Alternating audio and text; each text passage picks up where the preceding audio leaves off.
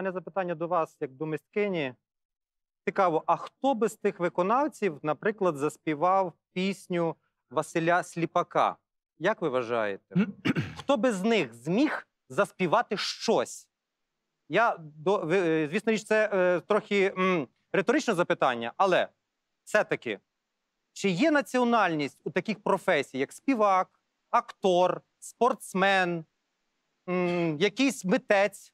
Надію, що немає такої національності. Є одна національність українець або не українець. З тої точки зору, хто з них може прирівнятися до такого співака українця Василя Сліпака? Хто б міг з них заспівати?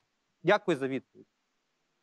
Ну, складно сказати, не знаю. Голоси у половини з них голоси були сильні. Якщо ми говоримо про голос, то, мабуть, би е, виконати ну, хтось би міг би. Тим більше там же ж, ну ні, ну давайте візьмемо. Давайте візьмемо Тополю, талановитий молодий співак, давайте візьмемо Хардкіс, наш гурт чудовий з сильними голосами. Давайте візьмемо ту саму Джамалу.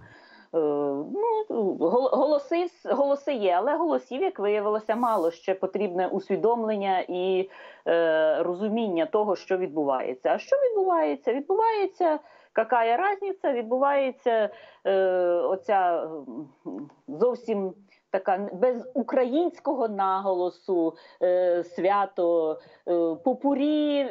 А, а хто сказав, що ці пісні були найвідоміші е, е, попурі? Ну тобто, е, коли мені сказали, що це Монатік робив е, постановку цього всього, ну так, це відповідає світогляду Монатіка, не е, нашому е, широкому державницькому державному світогляду. Це такий був вузенький корпоративчик на смак е, Монатіка, хлопця, який е, вчився в Луцьку в україномовній школі, в українському україномовному, більш україномовному ніж Львів, на секундочку, місті.